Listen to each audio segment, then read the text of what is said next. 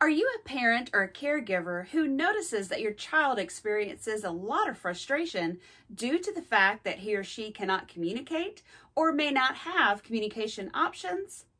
Well, learning how to communicate does promote independence, better behavior, but also helps to reduce that frustration that he or she may experience due to a lack of communication skills.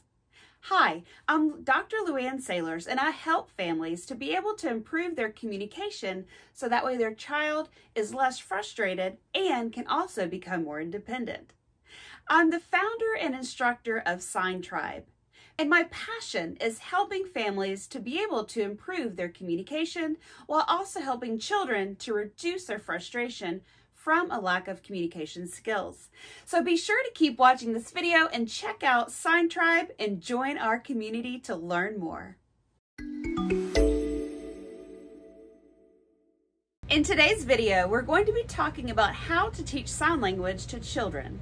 Now, you may have experienced trying to teach sign language before, but have given up because it just takes a lot of time.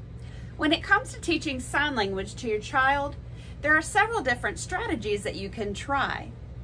So one of the tips that I always give parents is to choose the signs that you find the most functional or the signs that you tend to use most often with your child, whether it's in the home or school or community setting.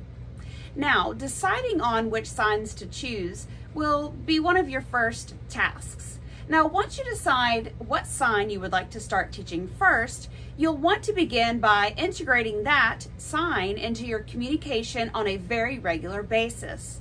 So for example, if you want to learn how to sign the word eat and you want your child to be able to communicate that back to you, eat. You can use eat and the sign every time that you speak the word. That way your child will start to associate the sign for eat with the word eat that he or she may hear. Now, another thing that you can do is that your child might already have some type of a picture communication system or a communication board, anything like that. So what you can also do is take the picture or an object and show them the sign, say the word, and also show the sign for the word. So for example, you might have a small picture of somebody eating, and that picture might be a symbol to him or her that it is time to eat. You would show them the picture, whether it's on their picture schedule or timeline or something like that, point to the picture, say eat, and also show the sign at the same time.